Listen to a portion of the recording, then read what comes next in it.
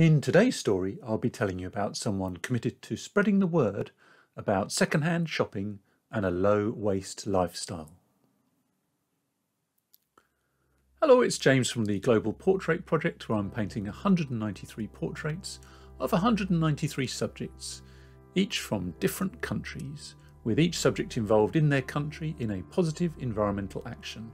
And today it's the turn of country number 26, Bulgaria. Bulgaria is a country in southeast Europe. It occupies the whole eastern part of the Balkans and is bordered by countries beginning with R, S, N, G and T. The primary environmental concern in Bulgaria is still industrial pollution, usually in relation to the heavy industry established during the Soviet sphere of influence. The subject for my portrait for Bulgaria is Rada Boneva, eco-blogger and creator of the sustainability podcast Thrift Sheep. Rada recalls that she has always been fascinated by nature and its mightiness. In spring 2017, she created her blog thriftsheep.com the name coming from combining thrift shop and her favourite animal. The aim of the blog was to promote second-hand shopping as this is relatively taboo in Bulgaria. Rada believes that only a few people in Bulgaria understand that second-hand shopping is not only a money saver, but is actually a way to help the planet and fight overconsumption and mass marketing. A few months later, she read about the zero waste lifestyle and decided to challenge herself and see what she could change. She became extra conscious about her choices and started sharing her experience online. In her own words, Rada recalls In October 2019, I realised that writing articles was cool, but I needed something more than that. YouTube is not exactly my thing, so as a podcast listener myself, there was no such thing as the one I craved to listen, so I made it for myself. Two and a half years and over 70 episodes later, on the Thrift Sheep podcast, we have talked about microplastics, biodiversity, human rights and climate refugees, seasonal food and agriculture, sustainable fashion, outdoor activities, conscious businesses, startups and innovations, and many, many more subjects. We desperately need more structured information about sustainability and climate in our mother language. Rada continues. Hundreds of people listen to these episodes and share their thoughts, so I appreciate every single one of them. I became part of a work group with other activists and local non-profit organisations so that we could unite and give expertise, suggestions, and working solutions on different subjects like recycling, deposit systems, vending machines, air pollution, ban of single use plastics, and we could give this advice to the Ministry of Environment and Waters of Bulgaria. Rada believes there are some good examples of proactive leaders and activists in Bulgaria, and there were Green Party representatives for the first time in last year's elections. A big problem remains that Bulgaria is well known for its problems with corruption. Illegal buildings are built in national parks, there is overconstruction by the seaside, deforestation, poaching, and mining. Only a few cities in the country have separate recycling bins, and recycling is still not obligatory by law. Rada's group are suing the government for its decision to build incineration stations for burning waste in the centre of the capital, Sofia.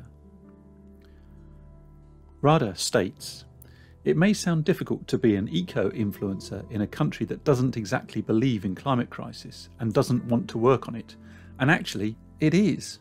We fight with greenwashing, with prejudice, stereotyping and corruption, but step by step the change is happening.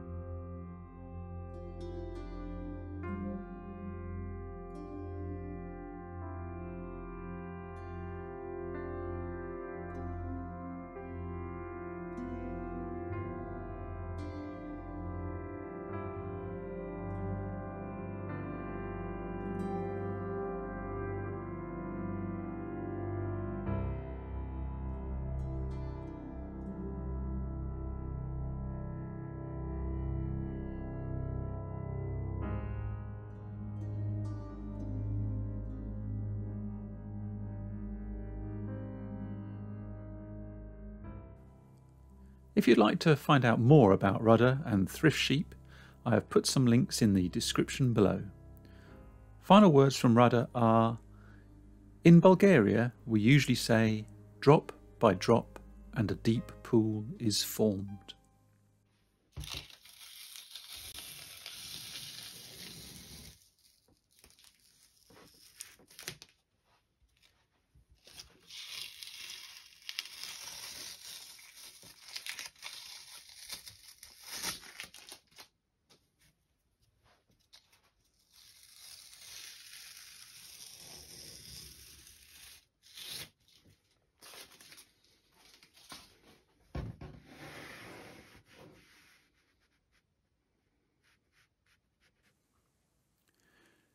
There is more information about this painting and how to get involved with the Global Portrait Project on the website and Instagram page, and the links are in the description below.